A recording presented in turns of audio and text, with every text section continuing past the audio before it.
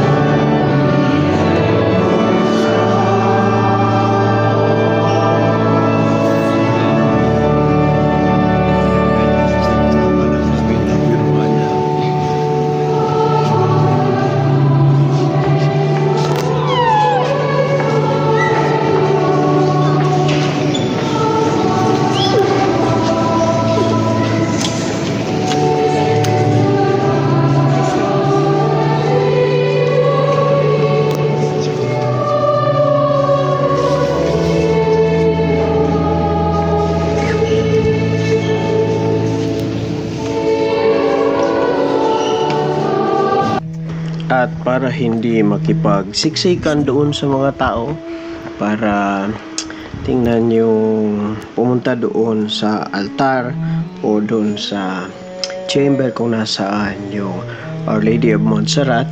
Naglakad-lakad muna kami papunta doon sa krus ng Saint Michael. Na medyo hindi naman ganun kalayo pero mainit lang. Pero okay naman. So lakad-lakad lang muna. Este será al lado de la Sí. Sa mga dinadaanan, eh, merong mga uh, naka-dedicate na mga statues at saka mga uh, palatandaan ng mga naging saints na mga Catalonians.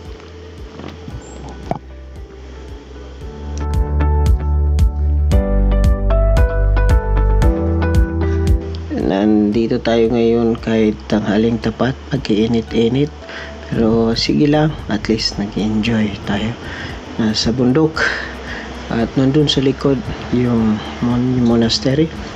At sa baba, ayun. Ang init. ah, pero sige lang, go. Adventure, di ba? Para kung pulubi. Magmamasahe kayo dyan. Sino gusto magpamasahe?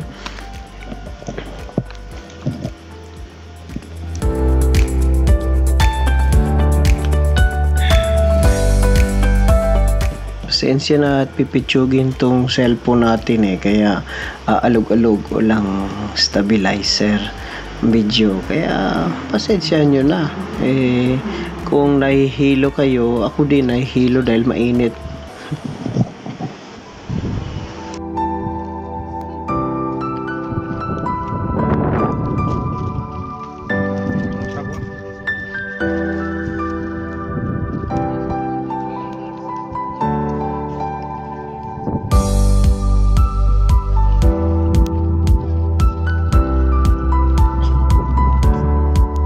Po si Master. Eh, believe talaga ako sa kanya. Imagine, siya yung probinsyal at siyang nag-drive sa akin para ihatid ako sa Vic sa araw ng kanyang kaarawan. Sa birthday niya kamo. Iniwan niya yung community para lang dalhin ako doon sa Vic. Kami pabalik na doon sa mismong shrine para umakyat kasi kanina hindi kami nakaakyat kaagad katapos ng misa. Nakipag-celebrate kami sa mass kasama yung abot at kasama yung mga monks at yung dun sa choir. Tapos nag, nagpa-communion rin ako doon sa mga tao. Do, hinintay muna namin na ma na mawala yung ibang tao kaya kumain muna kami actually.